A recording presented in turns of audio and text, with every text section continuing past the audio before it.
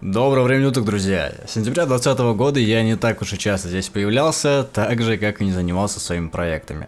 Я устроил себе затяжной зап отпуск, чтобы наконец-то как следует отдохнуть после нескольких лет напряженного графика. Так совпало, что в этот момент с YouTube ушел Бракис и некоторые другие интересные персонажи.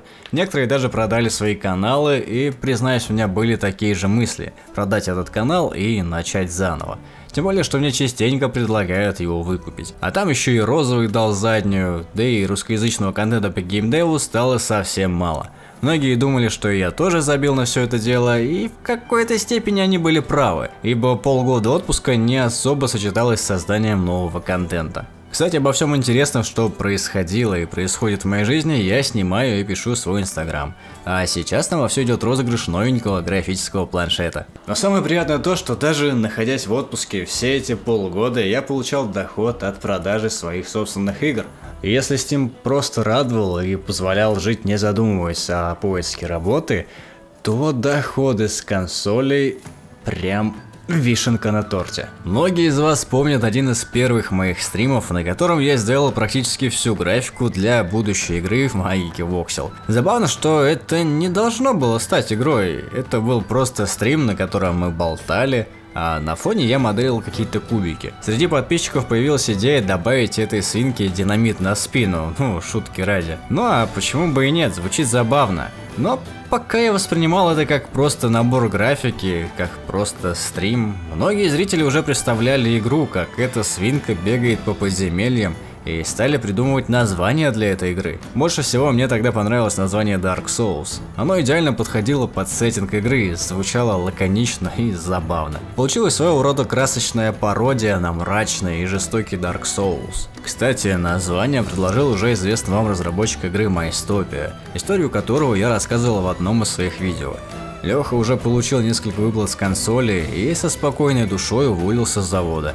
Сейчас он разрабатывает новый платформер и уже успел дать парочку интервью. Одно из них вы можете посмотреть на канале Евгения Гришакова, с которым у нас личные счеты и весьма интересный спор. Кто из нас первый заработает миллион долларов в геймдеве? Конечно, до ляма и ему и мне еще далековато, но геймдев такая сфера, в которой все может случиться внезапно и довольно быстро. А пока я довольствуюсь своим скромным гонораром с консолей, у Жени есть первый существенный успех успех. Его игра Offline Dice показала шикарные, как по мне, результаты. 10 месяцев назад он вложил в эту игру всего лишь 30 тысяч рублей. И всего за 10 месяцев на игре получилось заработать чистыми больше, чем 5,5 миллионов рублей а также успешно продать ее в другую игровую студию. Если интересны подробности, то в описании есть ссылочка на закрытый вебинар. Там Гришаков делится абсолютно всеми цифрами. Начальные инвестиции, затраты на развитие игры, затраты на рекламу, доход с игры и сумму продажи. Как по мне, то это уникальная инфа и не стоит ее пропускать. Ну а мы вернемся к шашлычку. Спустя какое-то время после стрима я все же решил использовать сделанную графику и собрать простенький платформер на Unity. Я использовал Asset Core Engine, чтобы этот процесс был максимально быстрым и безболезненным. У меня в плане было создать простую игру, получить за это определенную сумму денег и просто жить дальше. Собственно, по такому же сценарию были сделаны Purple Heart и Pukan Bye Bye. Только вот эти игры я делал около пары недель, а на разработку Dark Souls потратил почти два месяца чистого времени. Мне нравилось, что игра получается на голову выше предыдущих вместе взятых, и я хотел сделать ее еще лучше. Это сильно затягивало. Однако несколько раз мне приходилось откладывать создание этой игры и порой даже больше, чем на месяц. В общей сложности разработка длилась почти полгода. Она то велась, то не велась. Начинались новые проекты возобновлялись старые. YouTube в то время сильно отвлекал от разработки.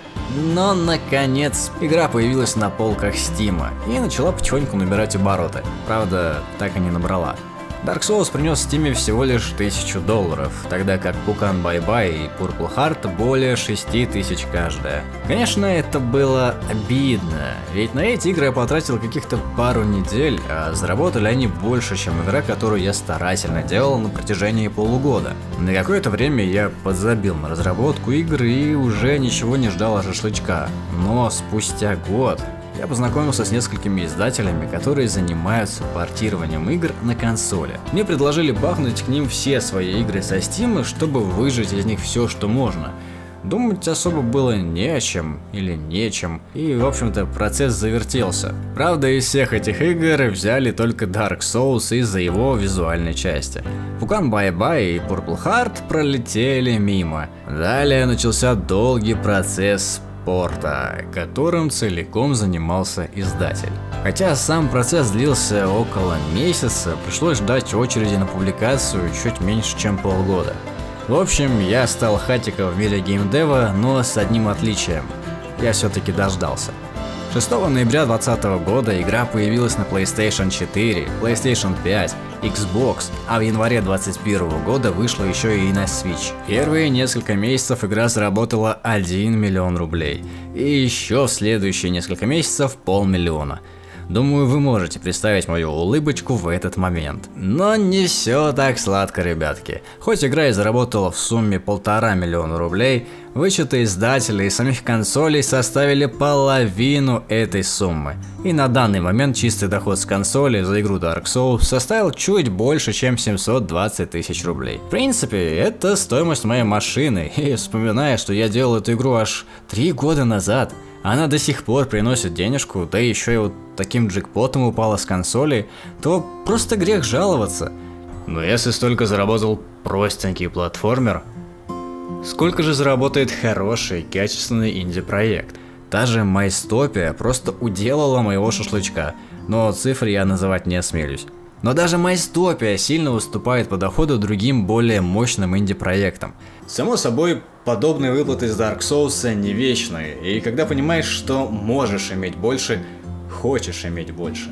Надо лишь только делать новые интересные проекты, и один из них у меня находится уже на серьезной стадии разработки. Все, кто следит за мной в инстаграме, уже видели разные наработки этой игры под названием Eternal. Изначально это был малюсенький такой аренный шутер для мобилок, который я сделал с нуля без использования каких-либо ассетов.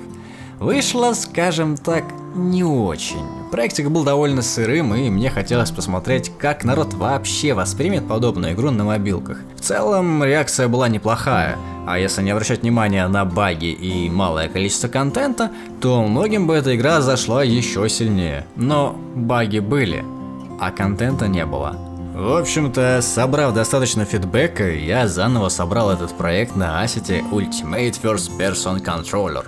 Хрен выговоришь. Заменил маленькие арены на процедурные уровни, добавил ящики с лутом и сундуки с оружием разной степени редкости и легендарности. Так вот, маленький аренный шутер превратился в настоящий рогалик от первого лица, который попадет не только на мобильное устройство, но также и в Steam и на консоли. Я воплотил в этом проекте весь свой опыт и знания, полученные с разработки игры за 5000 долларов и того лоупольного шутера от третьего лица с бюджетом в 500 долларов. Но самое забавное, что бюджет этого проекта под названием Internal до сего момента составлял 0 рублей. В следующих видео я расскажу о том, как попасть на консоли. Подробнее покажу разработку своего воксельного дума и подготовлю для вас еще один мощнейший заряд мотивации. Я с вами, как всегда, был Арталаски. Подписывайтесь на мой канал и не забывайте про шашлычки. Пока.